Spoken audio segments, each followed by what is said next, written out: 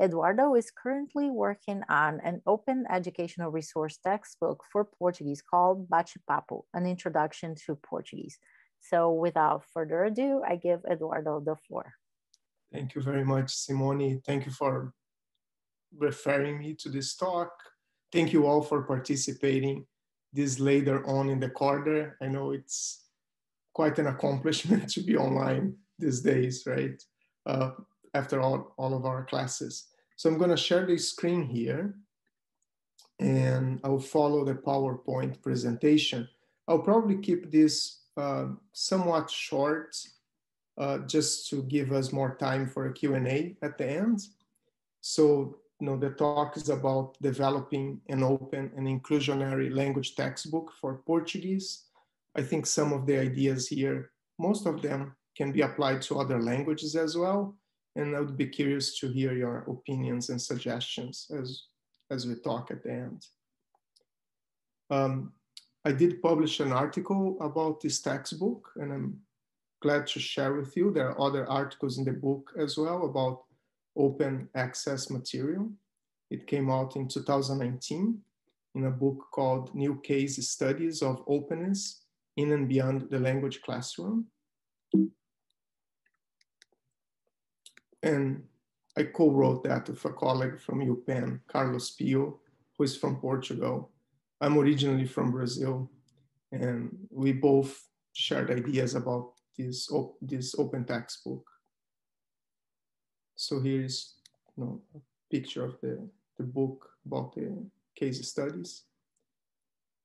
So the context of this project. The first thing that one of the reasons for me to, to think of creating an open textbook is because in Portuguese, we just don't have a lot of materials available. And, um, you know, I was looking online for things and beyond Duolingo and, and which I, I actually like it, but other sources that I could find, um, I could not find much of a textbook that I could use in the classroom that would be open um, in free of charge. The other reason was the cost of language textbooks. So in a lot of the Portuguese classes that I teach, I have students that come from minority groups and spending $150 in a textbook uh, is an issue for a lot of them.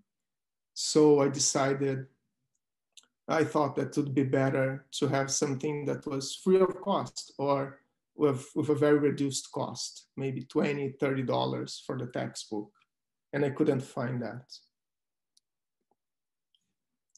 The other reason as well was that the textbooks that I was used to, to have in our classes, they followed a top-down approach in, this, in the writing process, in the sense that the language in the textbook, you could see that it represented the language of a high middle class, highly educated person and a lot of the times didn't have um, like expressions that people use nowadays that are more you know among people that are younger. And and that was on one of the reasons as well. So having that in mind you know my idea was to go to brazil. I want the book to be on brazilian portuguese and interview a few people from different background and based on their dialogues or on my conversations with them and observations, then I would create the material. So the material would be generated from the dialogues among people in Brazil. So the intended outcomes was to present everyday Portuguese language, um, which can be a challenge. I realized very early on that when I created the dialogues, let's say a dialogue in, um, in a grocery store, a dialogue in a restaurant, sometimes things that I wrote wasn't, wasn't necessarily how people actually speak in Brazil. Um, and that's for many reasons. One of them is that I have been in the US for a long, long time, almost 20 years. The other reason is that I just don't speak like someone that works in a restaurant speaks. And I don't mean that in a bad way or a good way. It's just we have different registers. And when I try to replicate some other people's registers, a lot of the times I get it wrong too. Um, another intended outcome was to be inclusive, as I mentioned before, and the inclusivity would be represented through gender identifications, uh, race, and also the voice of LGBTQI people. Um, and my main reason of thinking for that was that um, I, I, am gay, and I thought, you know, I haven't seen uh, that in textbooks other than being just like something that it's presented on a side note. And I wanted, you know, this to be part of the narrative as well, not just a curiosity. Um, related to race, this was before Black Lives Matter, but um, and pre-COVID when I started working on this book. I just thought that um, you know Brazil is is a country that has it's such a mixed race country. Like according to the last census, 53% of the of Brazilians are of mixed race, meaning black or pardo, as we categorize. And our textbooks, they are a lot of the times they're very white.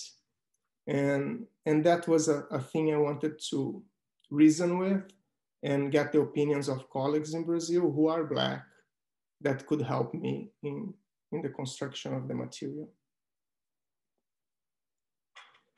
So the bottom-up approach came from that writing process when I would go to the country, and again, this was pre-COVID, so you know life was much easier. I could just travel and be in Brazil for a summer and go to the country, record dialogues, talk to people, and then based on that, start constructing the textbook. So here is where the textbook is hosted, is with the University of Washington. They have a platform called Pressbooks. Um, and, and I chose to use the Creative Commons. So it's just CC BY, I used the simplest one. So anyone can have access to the material, they can change, they can modify the material, um, they can use as is. Um, it can be sold in a, in, in a copy center. That there are no restrictions on that as long as you say where the material is coming from. Here is a sample of a dialogue. And I know that most of you don't speak Portuguese, but you can see how people are reacting. It's not a professionally done dialogue. It was recorded at the University of the state of Sao Paulo. And you can see this person is looking at the camera, but overall the language is there. And I just wanted to give you a sample of what I'm talking about. Onde você mora? Eu moro numa república. São quantas pessoas? Eu moro com oito. Oito? Nossa! Uhum. E você? Eu moro em kitnet. Sozinha? Sozinha. Ah, tá. E eu você? moro numa república. Ah, também? Tem Sim. bastante gente? São cinco. Cinco? Uhum. Ah, então menos que eu, né? É. So it's, it's just 19 seconds. And that was one thing I wanted to do, to get very short clips. Because I thought that what I could find online was most of the time like longer clips. And for a language class, a minute, it's a lot of language and it's very hard to process at the lower levels. So on, from this dialogue, I didn't ask them to do anything rehearsed. I just asked them to talk about where they lived. Just, you know, ask questions about where you live between the three of you. And then, since it was not rehearsed, a lot of natural language came up. So for example, they use contractions as numa, that's in the, they just contract instead of saying in uma. Um, they use a lot of expressions like ah, ta, you know, marking surprise, or ne, like the, the question tag here that's very common in, in Brazilian Portuguese or the hesitation of eh, eh, or confirmation. Um, so things that I would not necessarily put in a dialogue myself. And then the vocabulary that came up like the word kitchenette, that means studio, like coming from English, the word kitchen. Um, that is something I would not even think about. You know, I wouldn't think about that word. Um, and República as a dorm, that's something we, um, most people know in Brazilian Portuguese. So there is a range of, of sentences, and you can see that sometimes the answers are not like a complete answer, like I live with eight people, or you live with eight people. They say eight, wow. So you have the wow here with nossa. Um, and it's just full of everyday language that I then used in the textbook.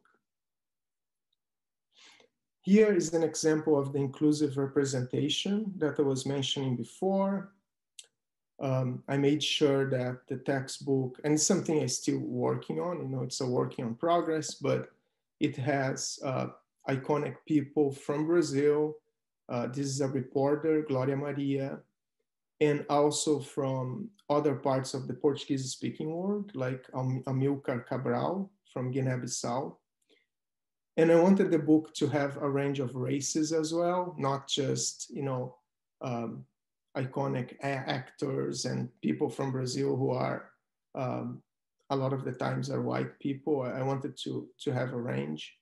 And here is a symbol of the LGBTQ movement, uh, which is a trans woman and even the language here, like when I started writing the textbook, I wrote transsexual. And then I had someone pointing out to me and saying, oh, if you say mulher trans, a trans woman, it's much more 21st century, right? Um, and and that's part of the being open and everybody that reads the textbook can give me suggestions and it's very fast for me to go in the textbook and and change when I think it's appropriate. So it takes a few minutes only. For the for the bottom up approach, we had a lot of students um, participating in two universities at the, the university from the state of São Paulo and also from the state of Minas here's a list of these students, and I just listed them as contributors to, to the textbook.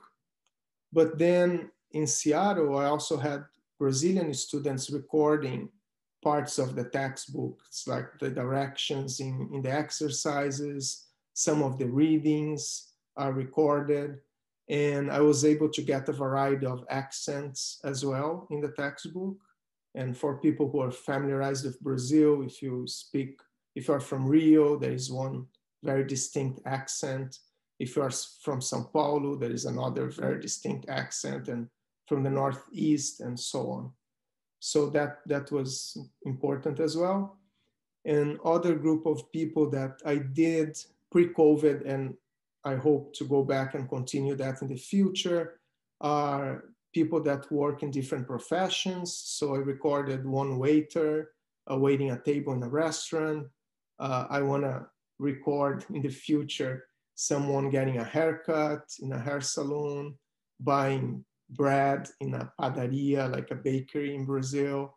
I want to record like everyday, like snapshots of everyday life in Brazil in, in the future as well. Some of the details um, in the organization of a textbook like this are the Creative Commons license. It's a decision you have to make right in the beginning if you want to make it more restrictive or not. As I mentioned before, I chose to, to go with the less restrictive option. I just kept my name because uh, for professional reasons, you know, it's good to have a publication, but even that I was questioning in the beginning, but the librarians at my university encouraged me to keep my name on it because they, they thought to be important. Um, there is the, a workbook that come along with the textbook. So I created the workbook on Canvas and it's now being created as well on Blackboard by the University of Southern California. And the idea of having a workbook is just that we are used with textbooks that um, come with a workbook so we can grade students and have a number attached to their effort in learning the language. So I decided to do that built on Canvas directly.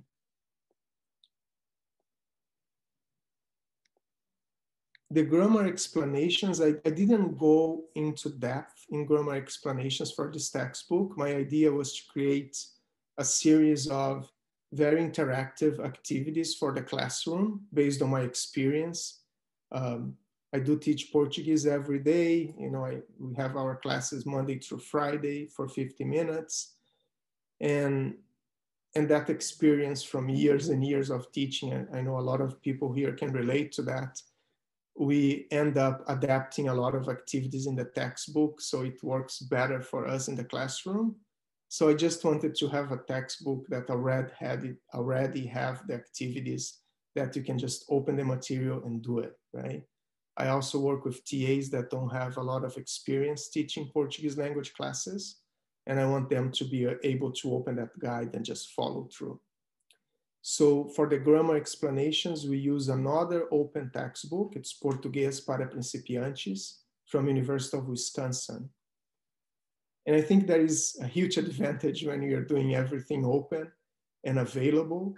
And that's one of them that you can use other material as well to complement what you're doing.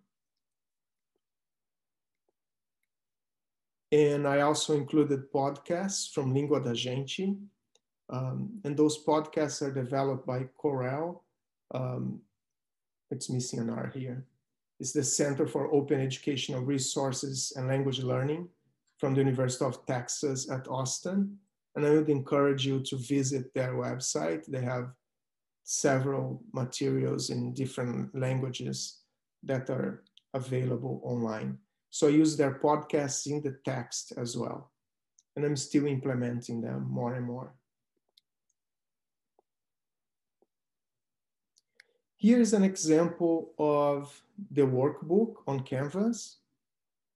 So the question was about what they do on the weekends if they like to, what they normally do. And then this person is saying, I like to exercise and watch horror movies, gosto de fazer exercício físico, assistir filmes de terror.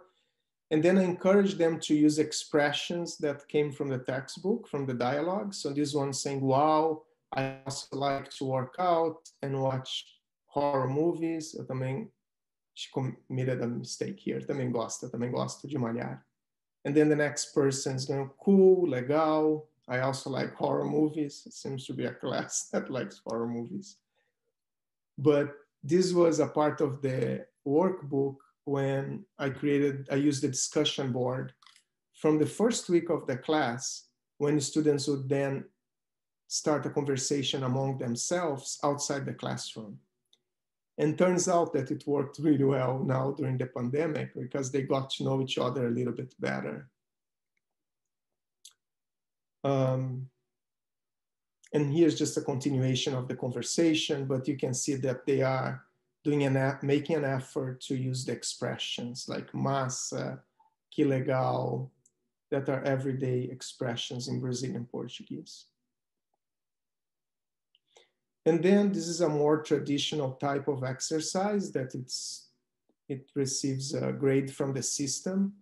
Um, here is just asking students to use short answers. So do you have lunch at home? Yes, I do. I have lunch at home or I don't. And then they just complete, you know, write their answers and the system will give the points. It is not perfect, like in the sense that if, if a student makes a mistake with an accent, let's say they don't put the, this accent here, um, the system will just consider this answer wrong and take two and a half points. So Canvas is not yet there, at least not in my institution, to um, to grade differently, like you know if it's missing an accent. But overall, it works well, and I give students three, I think three or four possibilities to, to retake the exam as well. Not exam, the exercise. Here's another one that's the typical fill in the blank. They have the list of verbs. They read the dialogue and start plugging in the verbs, but they have to conjugate them. So it becomes a little bit harder. You have to understand the context.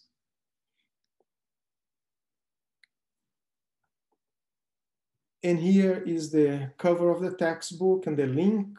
Um, I will put that on the chat so we can, um, so you can have access to it and see uh, what I did there.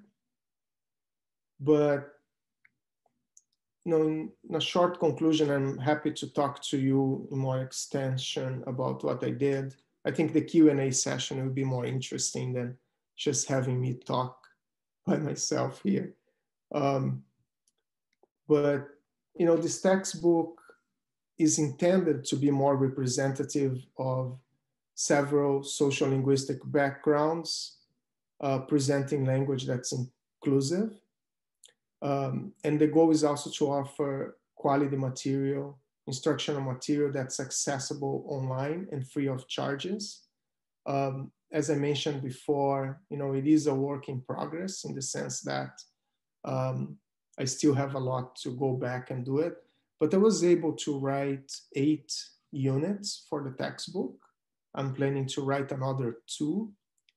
And as any textbook, you know, I think the instructor will use, adapt things to his or her um, ways of teaching as well but overall, I, am very proud of it, and I think it does represent everyday Portuguese language uh, in Brazil, uh, which was something that I didn't see on on a lot of the textbooks before. There's some acknowledgments really fast, but you know, I, I got uh, from the University of Washington Libraries, I got an award to pay someone to help me to design the textbook.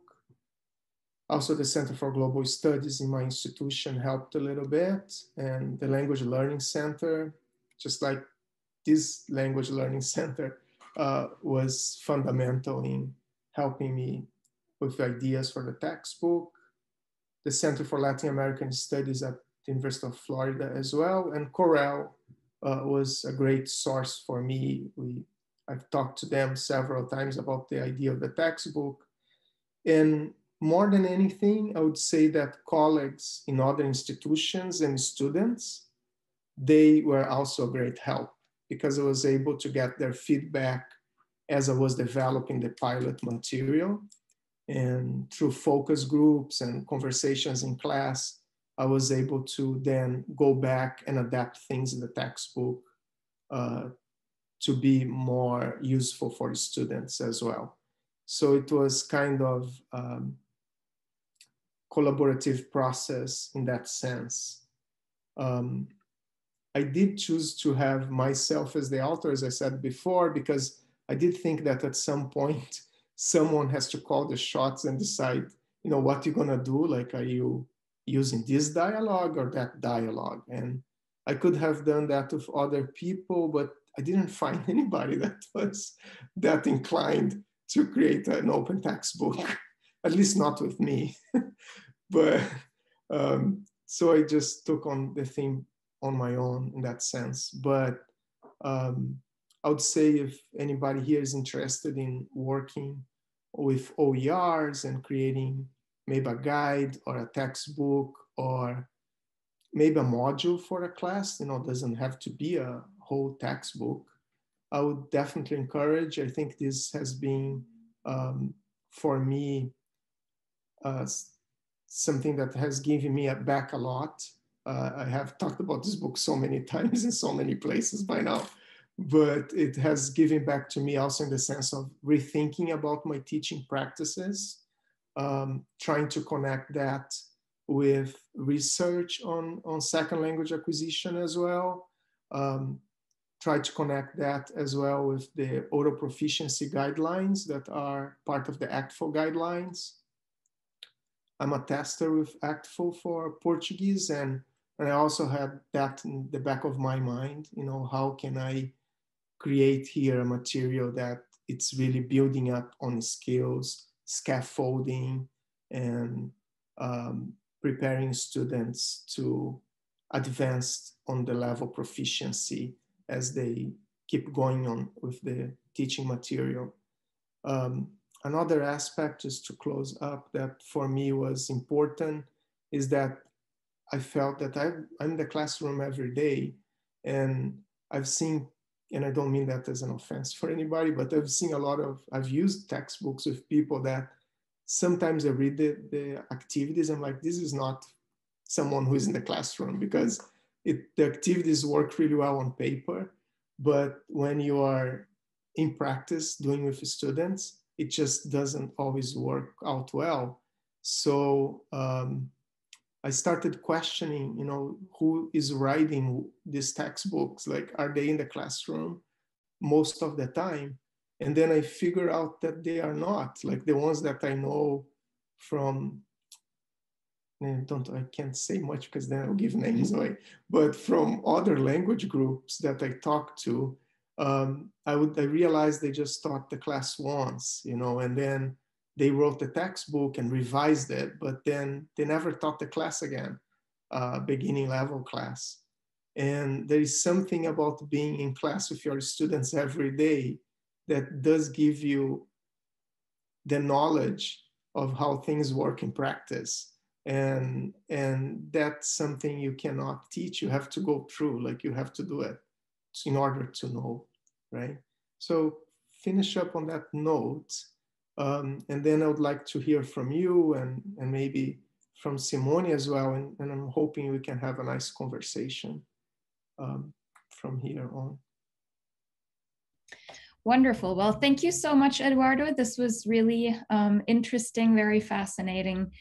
I think a lot of us here can um, relate to the fact that the, there simply aren't many materials in our languages, mm-hmm. or that the materials that do exist are very expensive, very outdated, um, and really don't speak to the interests of students. And, and I think I really like the focus on um, conversational, actual spoken language, because ultimately, most of our students want to be able to travel abroad and use the language. And I think sometimes pre existing textbook materials really don't support that skill enough.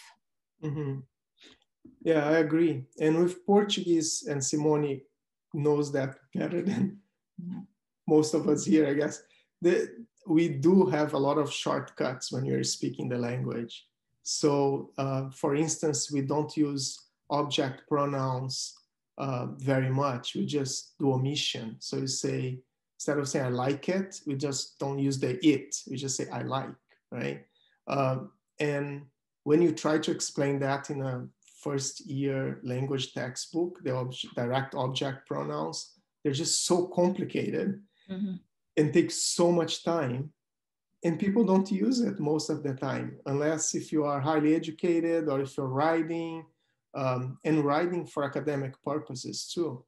So I just made choices that, in my mind, it made a lot of sense. This is not something we use. I'm not going to teach it. I'm just going to mm-hmm. put a podcast from COERLL that's talking about the omission of direct object pronouns, and that was it. So that's that's my teaching on it. It's like a 15 minute podcast.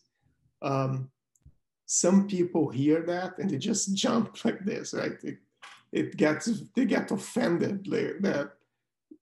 I don't know why, but a lot of people I know that are language teachers, they do feel that you know they are the guardians of the Portuguese language and I don't I don't have the same uh, feeling to it. So uh, I'm much more about teaching what people actually use it on every day. And then as you progress, I think there is a, a space for that as you are in a second, third, 4th mm-hmm. language class. Then you're gonna learn more of those nuances, but maybe not in the first, you know, semester, second semester in a language class. Well, it's more like a process of first language acquisition, right? Yeah. I mean, we don't learn the rules of our first language first, right? We we are exposed to language in use, and that's how we pick it up. So, and we know that it's effective because we all somewhat mastered our first languages. and especially when it's a rule of something that you actually don't use mm-hmm. you know yeah. so what's the point now you know how to use you know the rule you might know how to use it but you go to brazil and you're the one of the only ones mm-hmm. using that structure because people around you are not doing it yeah yeah so i, I don't see it so I actually do have one other question real quick before um, we open the floor here to everybody else. Um, well, one comment and one question, I guess. The video example that you shared, I really liked the fact that it was unscripted and that it was, you know, it seemed natural. I mean, you could hear like children screaming in the background at first, right? And I think oftentimes when we produce materials, even like during the last 12 months, during the last, you know, since since spring of 2020, I know a lot of our my colleagues here have been um, revamping their own materials and oftentimes spending a lot of time editing videos and editing audio. Mm-hmm. Um, and I like this more um, natural, real life approach because, again, you know, when you use language, mm-hmm. you will never use it in a in a recording studio. So I mm-hmm. think it behooves us as a you know, as a profession to be more realistic about how we present the language and also how we um, just have our students interact with that. And there is one thing about the script, the scripted dialogues too, that sometimes people want to introduce their uh, grammar points. Mm-hmm.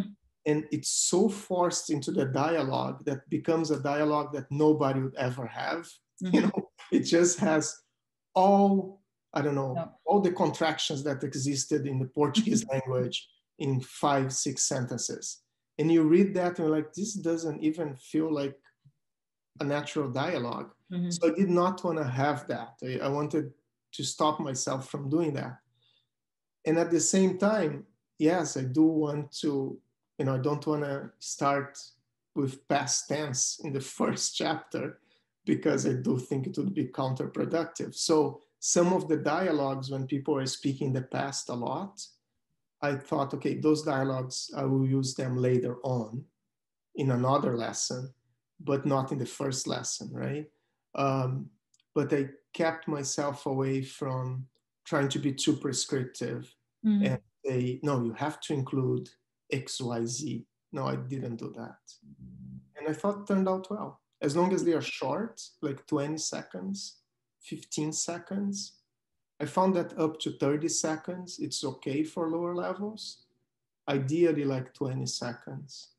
If the person speaks too fast, it might be, you know, I had some dialogues that I'm, i thought they were great, but you, it was really hard to, under, to follow one of the speakers because it was too fast. And in that that one at some point I just removed it because I was using class and everybody was struggling mm. so much. I'm like, yeah, this is not really working. So again, you know, we try with the students, it doesn't work. Take a step back and modify it. Um, so Chris put a question here in chat as a follow-up. Um, can you provide some more information on how the videos were actually recorded? Did, is that what you did when you went to Brazil? Yeah, so I got I got a grant from two thousand dollars, and I bought a camera, you know, like a recording camera. And I don't know if that was the right decision, but it worked. And I brought a nice mic that like blocked the the wind and, stuff. But I'm not the most high tech person at all, and I was just recording those scenes, and I did the editing of the videos on on my Apple computer and i'm like okay this is what i can do just to put the title and you know cut the end and the beginning and the end when you're just so that was it like very low tech in that sense i, I now want to go back and record with my iphone you know make sure i have like an iphone that i can get like maybe a mic that i can hide somewhere because if you have a mic like mm-hmm. on the person it's better to capture the voice um, but then showing the mic, it looks artificial too. So I don't know how I'm gonna do that. Uh, but I wanted to try with uh, an iPhone. I've tried with asking people in Brazil to record dialogues and send to me. Um, it was more difficult than I thought. Like when you ask people to record, some people they just change the way they talk. Mm-hmm. They become robots. I don't know why. It's just like you put a camera in front of them and they just speak differently. Um, so it, it, takes a lot of trial and error. Like some of the dialogues, you just can't use it because they sound the person. You can see that the person is not producing natural language. So those I just didn't use it. I would say maybe I use like 30% of them. Sure. Yeah. Did you run into any copyright issues? Like, are there any, you know, you showed us those three images of um, how you made sure to include diversity. I don't know if those yeah. particular three images of those people are included in the book. So, what I did um, with people who are in the recordings, I had a, an image release from the University of Washington I translated the image release to Portuguese because it, you know, it has to be in the language of the that the person speaks that they are signing. And then attached, I had the English version. And I just collected all this paperwork and having a file in my office. Um, for other images, I used unsplash.com a mm-hmm. lot. The only problem for Unsplash is that sometimes the images are too Americanized. Like, so mm. I don't. Now, I want to put a picture of a pão de queijo like it is in Brazil, like a cheese bread that is, you know, in Brazil and not in Seattle, because they do look. I don't know, just the place around looks different, like the doors and the windows. I wanted to look like you are in Brazil. So um, I'm planning on going back and taking pictures myself so I can use those. Um, I'm sure there are other ways of doing this that, you know, I just probably need some help. but I, it's missing also more images. I just didn't have the time to really, uh, and not even the resources to have like a cartoonist doing, you know, drawings or I thought that would be nice. Um, so I didn't get to that it was really images that I searched myself on Unsplash a lot of the times. Or Wikipedia. Mm-hmm. What questions do we have from the audience here? So I do have a couple of questions, Eduardo, and thank you for the very nice talk and for the work you're doing for Portuguese. Um, let me start with one and then I'll let everyone else ask questions and I'll come back at the end. But um, one of the things that caught my attention is your uh, preoccupation with the diglossia that Portuguese knowingly has. And I completely agree with you. Um, it is one of the things you gave the example of the direct object pronouns, right? And it's one of the things I worry about all the time when I'm teaching introductory or intermediate is that some of the dialogues they just feel completely unnatural for Brazilian Portuguese. But I also feel that because Portuguese deals with this incredible diglossia between written language and spoken language, I have to keep reminding students so this is how you speak, but you cannot write this way. And in general, here we have students who are very interested in both forms of the language and uh, expressing themselves orally, but um, maybe surprisingly, I don't think at FIU I had that many students who were very interested in writing, but surprisingly, we have a lot of students interested in writing.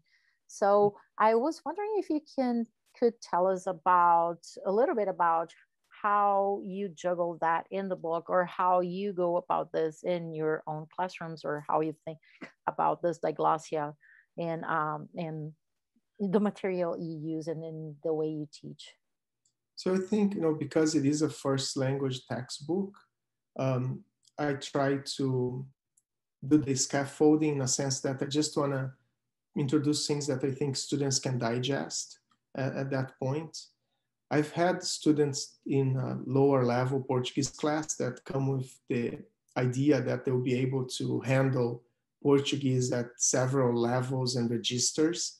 And normally they are the ones that are less successful in the language because they just get so hung up on the grammar and and rules that you know they can't really speak the language.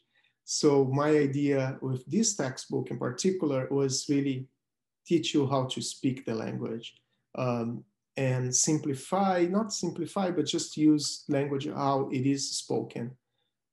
And for Brazilian Portuguese, you know, another controversial point, uh, I've heard that from linguists and I kind of agree with them. It's almost like a Creole language in a lot of ways because Brazilian Portuguese is what it is because of the mix of African languages and indigenous languages. Um, and there is a lot of shortcuts that, you know, in Portugal, they don't necessarily do.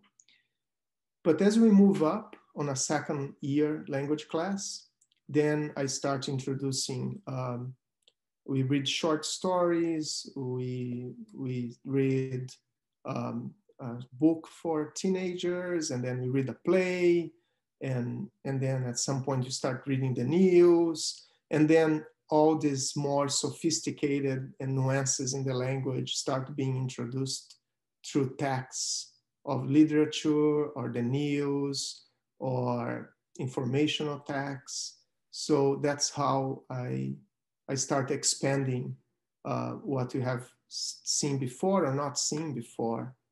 And that expansion and recycling of language, I think it's key for a language program and sometimes it gets lost like you think oh i introduced contractions right of in the first chapter i don't really have to talk to, to students again about this but they don't acquire right all the contractions because they saw in chapter one so i heard that from other people that write language textbooks that one thing that misses a lot is recycling, you know, going yeah, back to points that we have introduced, expanding them. Mm-hmm. So that's why I divided the chapters in two parts. So it's like chapter 1A, 1B, because 1A introduces the first concept and then 1B expands a little bit on the vocab. But there are things there that even I think it's too much, you know, like lists of words that go on, on and on. And like, who is going to memorize these 20 types of breads, you know, like it's crazy. So I just tell students, you know, just memorize what you eat. Like that's one way of going, or what you definitely don't eat, right? If you don't eat that kind of bread. Um, but it's not my intention that they will memorize a whole list of words because I think, you know, it's out of context. Uh, it's just hard to do it.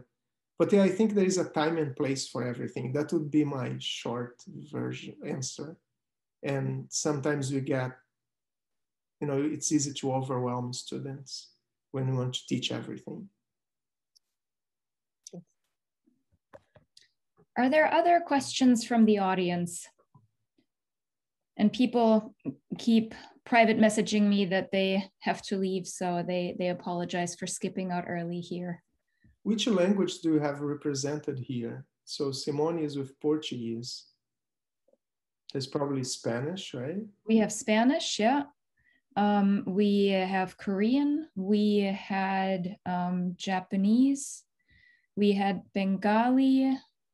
Um, we had Nepali. Okay. What language am I missing? If I'm if I'm missing your language, please chime in here. I think that may have some, it. Some of the things you're talking about, it applies for all languages, right? The way that textbooks are organized and Absolutely. they're very traditional with, uh, yep. you know, press books. They they just do in one way. Like you can, you have to introduce this grammar point in chapter, you know, one or two. Um, but others that you know people like Mary that teach Thai or um, Bengali and other languages that you just don't have as many mm-hmm. textbooks, then I think then we even have more in common in the sense that Portuguese is one of these languages that you know there is like one textbook that dominates the market mm-hmm. and everybody uses that textbook and then at some point another textbook comes along and that's what is defining the curriculum of a language class when in fact i don't think a, uh, language textbook should be the curriculum. I understand why it is because mm-hmm. you know in practice that's the easiest way out of this mess of teaching a language. But um, even when I was using a textbook that everybody used, I decide I made decisions like I'm not teaching this, you know, these and these pages I'm not doing. Uh, I'm not doing the past at the end of the first quarter and then putting students put that on a on an exam because students will just go nuts right? It's so hard. So i'm not going to do the past here. Um, so i was thinking in terms of language proficiency as well uh, that spectrum of going from a beginner all the way to a superior level. Great yeah Mijong, you have a question Yes. Um, hi, Eduardo. Uh, thank you very much for sharing your expertise on creating um, more affordable and an open uh, textbook. Um, that is really inspiring me to think about um, um, creating the, um, the elementary level Korean uh, textbook in the future.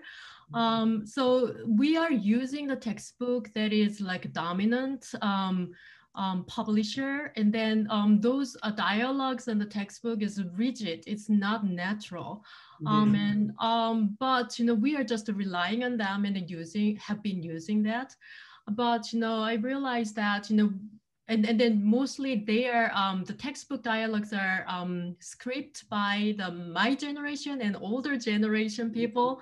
So you know it's a very standard language but you know especially if they um, the students visit korea and then they're going to meet with their um, younger generation and their communication and they're they're gonna be um, difficult to understand each other because usually the younger generations are using the like abbreviated, you know, phrases and the words. So you know, even even to me, like a, as a native speaker of Korean, I cannot understand what they are talking about. Sometimes I have to decode, uh, decode it. You know, mm-hmm. um, so um, probably um, the textbook dialogue doesn't need to be text right so as you mm-hmm. created like um video i really like that it's it was a conversation between i mean among three people mm-hmm. i never we never had a dialogue like uh, among more than 3 mm-hmm. so it, it, was always you know between two people and it's equally distributed it's mm-hmm. a kind of a, like a robot you know mm-hmm. speaking it yeah, was not natural portuguese yeah same thing with the portuguese textbook that i used long mm-hmm. answers and then you get a student at the lower levels, they can handle three parts of a sentence. Mm-hmm. You know, like, right, they, they forget. They can say, I like you very much. I like you very much when I am off. like, you know, I don't know, like you just can't handle like two sentences that are too big.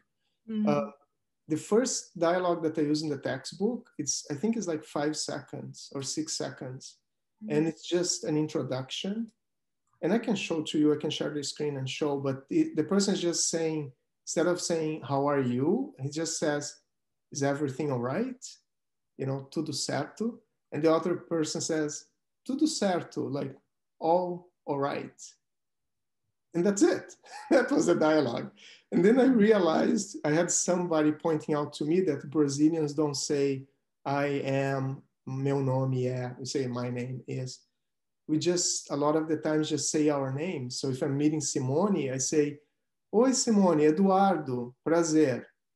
So I just say, my name, Eduardo, pleasure meeting you. So I'm not saying my name is Eduardo, but the textbooks always will have my name is, right? So it becomes very, as you said, mechanical, not natural. Um, let me screen, do the share screen. Do you have time for this? I think so, right? Okay. If the video, if you are lucky, the video is gonna work out well. And here's your email, Angelica. Um, this is the textbook that I, will, I mentioned to you before from University of Wisconsin, Português para Principiantes. That's the grammar textbook. So the very first unit from the textbook I wrote, you know, I put here by the end of this lesson, be able to greet people. That's one. So the greeting part is here. Let's see if it's going to work.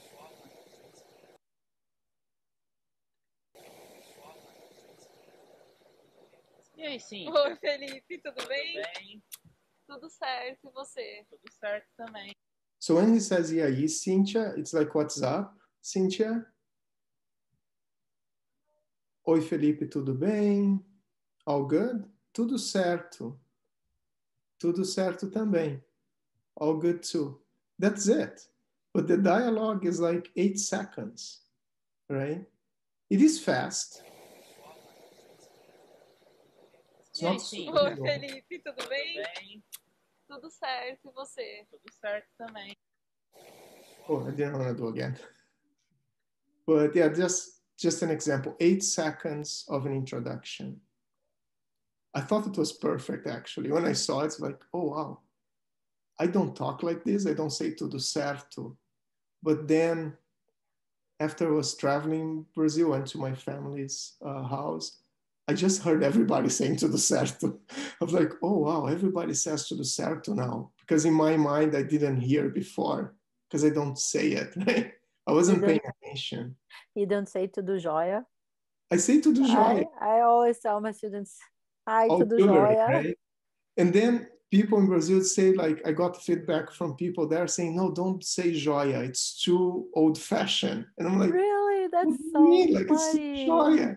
In southern then- Brazil, everyone says it. And then I realized that depending on the parts of the country, Yeah. younger people say it. Other parts of the country, no, they don't. So, you know, I have the TAs here about this specific word. They're like, oh, yeah, my grandma says it. I was like, oh, that's nice. You just, you know, Oops. compare myself with your grandma. Like, that's my language register, right? But then I realized it depends on the region too. Yeah. But to tudo certo, it's like very university. It goes well with our language, our students, right? Because they are at the university level. So um, their age group is the same.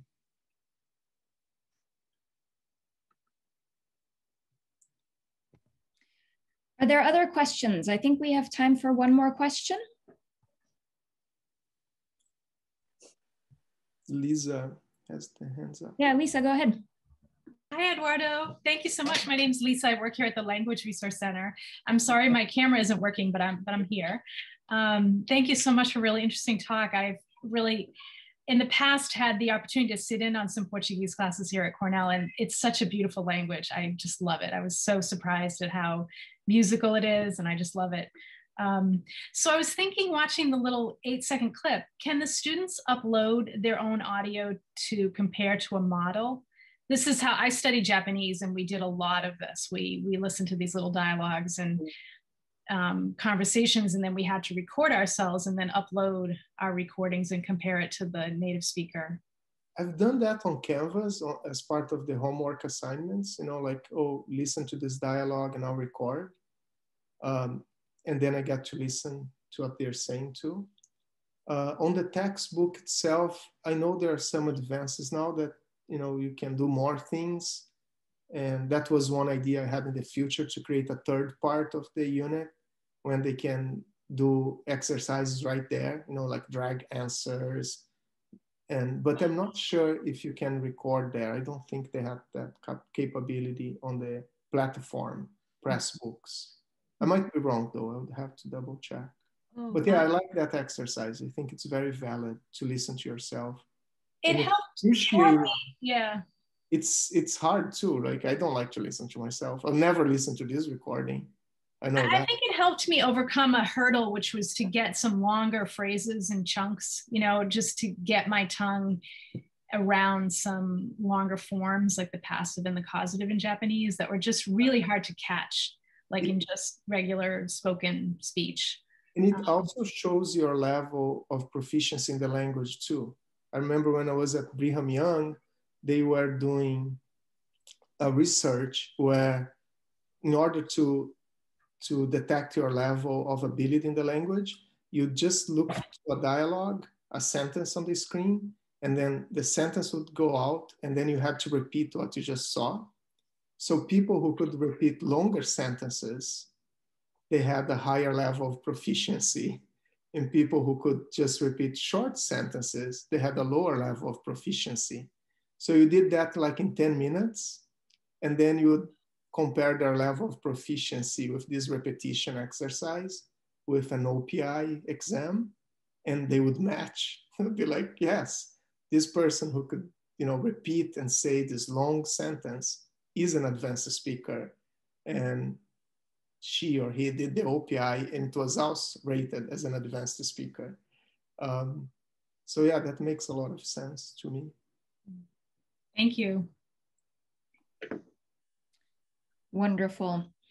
Well, being mindful of the time here, um, please all help me in thanking Eduardo for joining us today and for giving this, this talk. Um, we'll stick around here for a little while longer. So if you are interested in um, hanging out for a few more minutes and asking him more questions, please do. So Eduardo, thank you again.